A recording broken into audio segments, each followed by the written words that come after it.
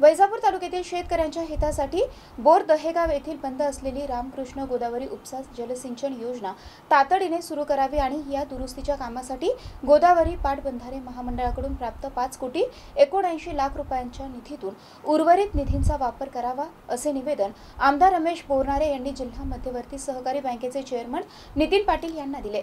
यावेळी त्यांच्यासोबत जिल्हा परिषदेचे आरोग्य व शिक्षण सभापती अविनाश गलांडे पंचायत समितीचे माजी सभापती बाबासाहेब जगताप बाजार समितीचे माजी सभापती रामहरी जाधव माजी जिल्हा परिषद सदस्य मनाजी मिसाळ यांच्यासह अनेकांची उपस्थिती होती. ही योजना कार्यान्वित करण्यासाठी गरज पडल्यास स्थानिक विकास निधीतून रक्कम देऊ असे आमदारांनी सांगितले. रामकृष्ण गोदावरी जलसिंचन योजनेअंतर्गत तालुक्यातील चौदा गावांचा समावेश असून दोन हजार एकशे सतरा शेतकऱ्यांना याचा लाभ मिळणार आहे. जायकवाडी जलाशयाचे पाणी कमी झाल्यानंतर दोन हजार मध्ये ही योजना बंद पडली. मात्र या शेतकऱ्यांच्या सात बाऱ्यावर कर्जाचा डोंगर आजही तसाच आहे. त्यामुळे योजना सुरू करून कर्जमाफीची कार्यवाही करावी असे या निवेदनात म्हटलं आहे. Shailendra Khairmude MCN news Vaijapur.